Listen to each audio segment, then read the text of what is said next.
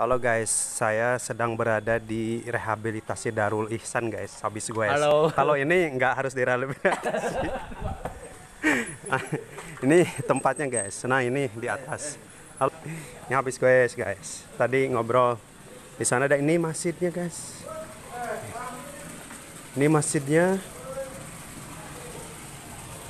Di sini masjidnya, di sini tempat sholatnya, ibadahnya.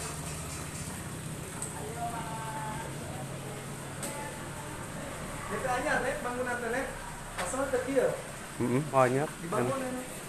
Alhamdulillah lah. Sholat teh di dia, sholat. Sholat kami di ngaraji di Tah, ieu ketemu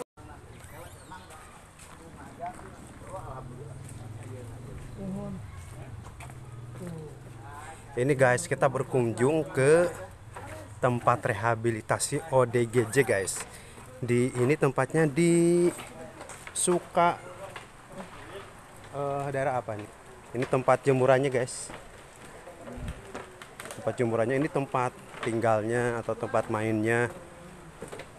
Oh ternyata ada ini juga guys. Ada apa ini beruk? Nuh, guys. Ini Om Anep nih, kenalin. Ini Om siapa namanya? Kenalin. Halo bang, Siapa ya, namanya? Musalam. Regi Ya, dari mana? Nah, dari Komplek Bekasi, Oh, Komplek Angkatan Laut. sudah kapan di sini? Pak. Dari udah 8 tahun pak, Oh, 8 tahun. Hah. Hmm, belum pulang-pulang. belum. Kenapa? Besok insya Allah mau dijemput. Mau dijemput. Om. Oh, sama Om ya. Iya. Di sini udah 8 tahun. Enak gak di sini? Ya, enak, menunya enak pak. Oh, makan ya. Ya. Di sini itu apa aja? Ngaji, Oh, ngaji, ngaji apa? sholat, Mm-mm. makan, tidur. Oh, gitu. Udah Berarti enaknya. enak. Seneng berarti. Senang, Udah 8 tahun. sembuh dari bangun rong. Oh, sembuh ya. Besok Enggak. pulang sama Om Rong pakai apa? Motor apa? Mobil bangun rong, iya, iya. mobil Mercy pak. Enggak. Mercy. Kenapa di sini sampai di sini kenapa? Sak. Narkoba bang. Oh, narkoba. Narkoba itu. Oh, narkoba. Iya narkoba, jadi dibawa kemari, dia sembuh gitu. Oh, narkoba ya. Om bilang di Tasik ada Pak Haji gitu kali kan. Hmm. Nah, gitu oke. Begitu Pak, sampai bertahun-tahun biar sembuh saya. Sehat gitu kan bisa. Alhamdulillah Pak, makasih. Iya. Ini sehari-hari di sini aja. Iya. Ti- Tiduran gitu ya. Ngaji gitu. Ngaji di sini. ya. Sholat, makan Sholat. gitu Hmm, enak ya? kan. Hmm. Iya kacamata. monyet kasih Mang Anep mah bogor. Nya aneh. ya. Uh, uh, nah deketan eh. Bagar Anep.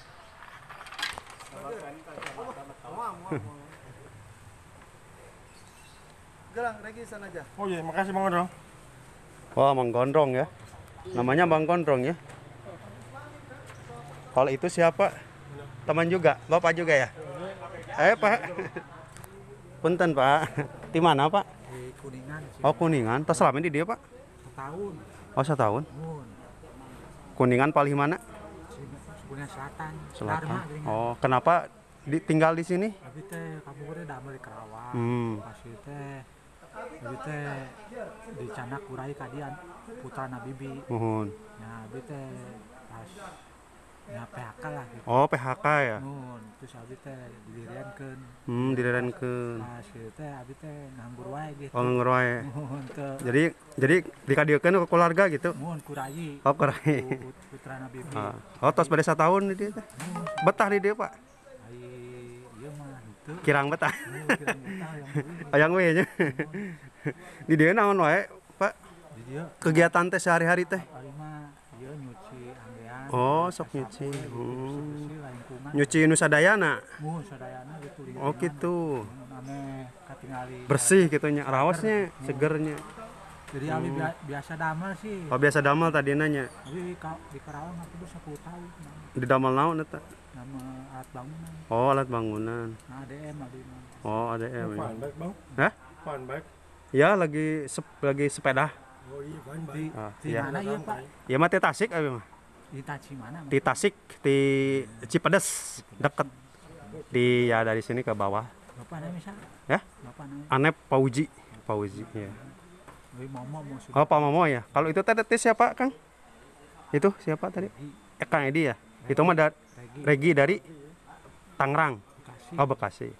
Akang mah dari Kuningan emosian. Oh, masih emosi ya? Oh. Hmm, iya iya iya. Kalau bapak mah santai ya. teh sok anu sama gitu Oh depresi itu. oh sok, Hmm. sok ada ini capek gitu ini teh sok males sapoe dua poe Oh, gitu. mohon gitu istirahat lah berarti. mohon pas itu teh nah 10 tahun teh Hmm. katingali eta teh aya nu hoyong gitu gitu. Oh iya. Gentos. Nuhun. nya asalna mah keluarga di Geningan di Mohon. Dharma Dharma terang kan Mohon waduk Dharma itu. Abi mah Cipasung nah Oh Cipasung. Ah, Cipasung lebat Mohon. nah asisian Terus terus terus. Mohon atuh. Wilujeng tuh Pak nya. An jeung pada ngobrol di desa. Nuhun Pak. Wilujeng raos Sing mohon ah mohon. Aya mah santai eta. Apa Mohon Pak, nuhun Pak.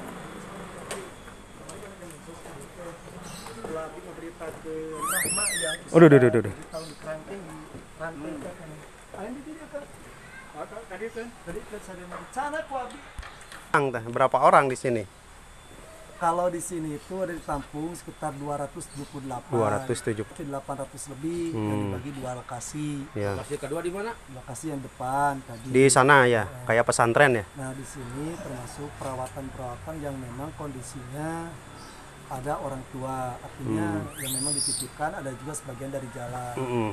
Nah, kondisi yang saat ini terjadi sudah selfie sudah selfie. memang semua pasien baik perempuan ataupun laki-laki termasuk di sini ada pasien anak Hmm. yang usia kemarin itu diambil 14 tahun dari Cikalong itu si Rapi Hmm. memang kondisinya sudah dirantai dipasung hampir Hmm. 16 tahun ya. Eh, hampir sorry hampir 7 tahun dipasung terpaksa oleh pihak yayasan kemarin diambil dibawa ke sini video Nah, jadi kondisi mereka mereka ini didekatkan lebih jeruk ya terhadap religi mengaji kemudian kehidupan juga diatur makan juga di pola diatur tidak serba eh, mereka itu bermalas-malasan Berarti metodenya itu apa? Lebih ke Maka dia di- itu mengaji tiap hmm. malam Senin Oh ngaji ya. ada yasin kalau Yasin. sabtu kemudian ada wakiyah yang ujang satu Hmm. wakiyah kalau malam jumat yasin dan tabarok kemudian mereka juga sehari-hari tiap pagi itu wajib olahraga. Hmm. olahraga kemudian mereka juga diberikan ada mandi khusus setiap Hmm. datang ke sini. Kemudian ada pijat refleksi. Mereka urat-urat sarafnya seperti Hmm. ya supaya tidak tegang peredaran darahnya supaya jalan pasien-pasien yang di sini. Kalau memang tidak terkontaminasi oleh narkoba terutama oleh ekonomi faktor dan lainnya itu bisa sembuh. Alhamdulillah. Di sini baru juga Wah ada insiden guys. kurang insiden. itulah Iya iya. Terus ke sini itu biasa bisa menitipkan semua orang atau Allah bisa. Jadi semua orang bisa menitipkan gitu ya? Insya Allah bisa. Apa itu? Yang sudah berat atau gimana? Kategori di situ kan ya, dari mulai depresi, eh, mungkin kadang ya Sakau gitu yang kemarin diambil itu itu udah termasuk autis. Hmm. Kayak Yang kemarin yang baru baru itu ya? hmm, yang jelaskan. itu Kamu itu dulu sering makan apa? itu. Hmm. ganja sabu oh, gimana itu itu bisa diarahkan. Bisa sembuh sebetulnya. Nah, kalau kalau untuk sembuh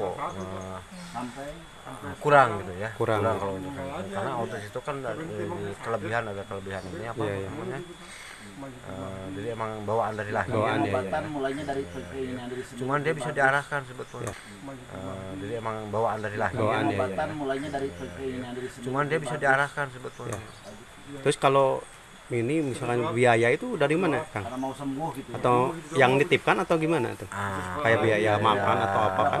kalau biaya untuk yang kita ngambil dari pasungan itu asli dari yayasan Pak Haji. Oh iya yayasan. Oh, oh Pak Haji yang ownernya. Pak Haji yang Mungkin itu sed- sedekah Pak Haji sendiri ya. Nah, itu ada sedekah dari Pak Haji itu emang program lillah karena untuk mengurangi eh, sekarang kan ternyata masih banyak di daerah-daerah kabupaten yang yang masih dipasung seperti Oh, itu di Kerangkeng makanya Pak Haji itu tergugah hatinya dia berniat ingin eh, mengurangi atau bahkan ya menghilangkan. Iya, iya, iya. sampai sampai bersih. Iya, iya. kabupaten Tasik ini. jadi dua kali lipat. Kalau untuk biaya-biaya itu eh, Haji yang Ki di sini. sodako asli. Nah, ini juga sama. Alhamdulillah. Kalau untuk yang lainnya ya seperti apa namanya eh, yang menitipkan dari keluarga ada. Menemukan iya dari keluarga. Ini Cuman situ kita nggak ngambil target. Oh. Kalau ada yang ngasih mah boleh aja gitu ya. Tapi nggak ditentuin misalkan berapa gitu enggak. Gitu dia. Sesuai kemampuannya dia mau sodako berapa insya Allah. Oh, gitu. Tapi kan seperti ngobrol tadi mah normal-normal aja biasa nya itu si kan Iya. dianya kumaha eta paling mulai kasusnya itu. Mungkinnya upami sekitar 5 menit 10 menit insya Allah normal. Oh, iya iya. iya. Kalau ditanya terus ke sananya nantinya jadi Oh gitu, Pak ingat. ini, ini, ini. Tadi Eh, si Ganu biasa we. itu makanya kalau di sini kadang karena eh, kalau yang baru ke sini itu nggak kelihatan ah, mana benar, nggak eh, kelihatan. mana yang Oh gitu ya. pasien atau mana yang Gimana pengalamannya Kang ada yang sampai misalnya pas ke sini ngamuk atau gimana? Pernah gimana caranya tuh? itu banyak juga pengalaman Ya seperti itu. Allah. Oh, banyak. Nah, ini kita terima dengan Itu ikhlas. Ya, mudah-mudahan dari pengalaman itu dari keikhlasan itu menjadi wasilah untuk kesembuhan saudara kita. Nah, Banyak pengalaman kadang sampai Yes, ini sampai yes. kena pukul gitu. Oh sampai pernah. Saya lagi lagi refleksi kadang kena tendang. Oh gitu. Udah itu udah resiko kami gitu. Oh gitu. Itu resiko saya. Iya, iya. Berarti ada yang unik-unik nggak Kang misalnya perilakunya selain kekerasan kayak gitu? Puasa itu. Ada. Ada gimana itu? Sendiri. Sini, Jess. Oh, Dia sini. Ya gitulah. Sini. Kadang ada satu Aji sudah makan satu belum? keanehan mungkin ya, ya itulah namanya kebesaran Udah Allah. ya. Saya Yes, pernah coba tuh waktu tadarus. Namanya? Nah, tapi begitu dia buka Quran, Nah, dia buka Ajis ngaji. dulu aktivis ya? normal, oh gitu. normal.